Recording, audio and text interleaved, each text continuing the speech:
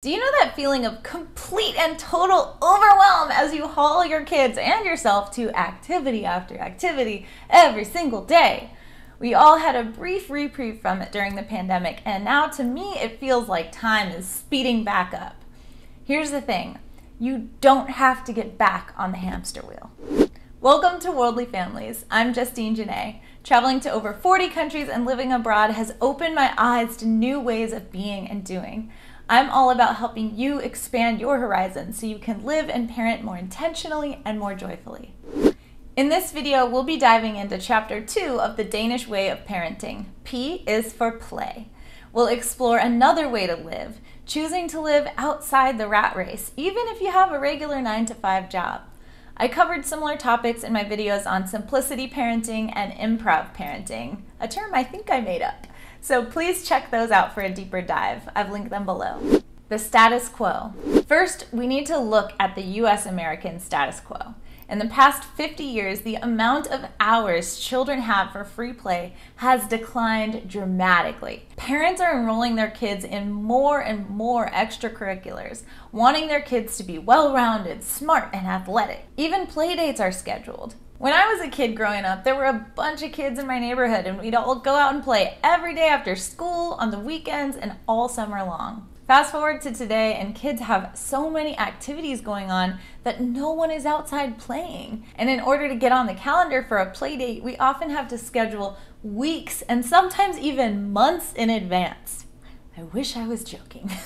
the context. The issue with all this overscheduling is that it doesn't leave time for enough free play. Play makes kids less anxious. It teaches them resilience, how to regulate their emotions, how to cope with stress, and how to make friends. Any of that sound important? In Denmark, for a long time, kids weren't allowed to even start school until the age of seven. And school isn't just focused on sports and academics. It's focused on developing the whole child. This approach allows kids to develop what psychologists call an internal locus of control the feeling that they are creators of and not victims of their lives. Kids need space to try things out and challenge themselves at the right level. They know how much stress they can handle. Psychologists call this proximal development and it's core to Danish parenting. An example of this is my son Onyx has been learning to walk and now run. When he steps up onto a curb, at first he needed a lot of help, a full handhold.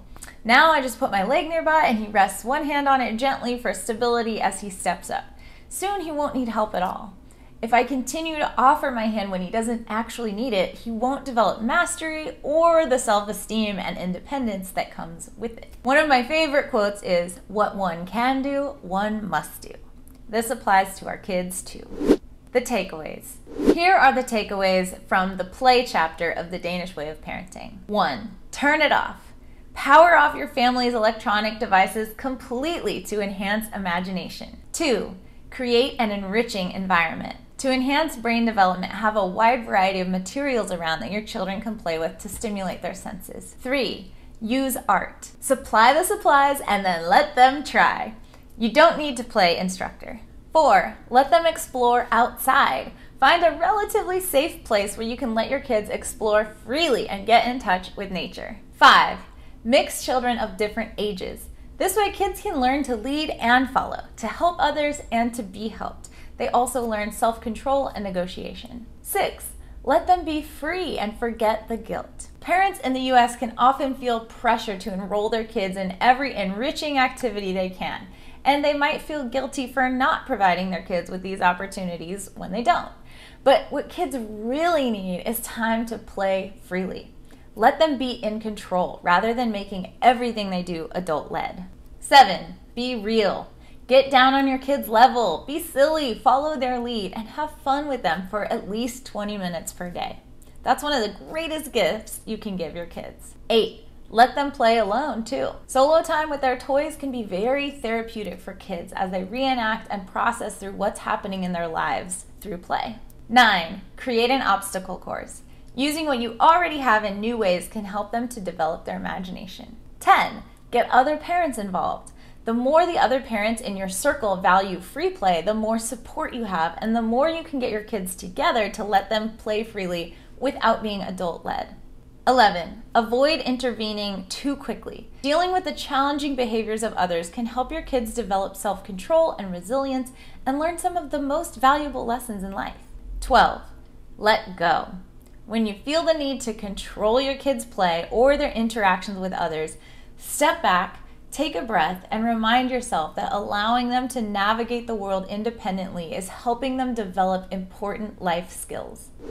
I hope these tips help you cultivate play in your family. Next time, we'll dive into the chapter on authenticity. I'll see you in the next video. That eight? La la la la, I don't know what number I'm on. What did I say? La la la la, there's no way to know.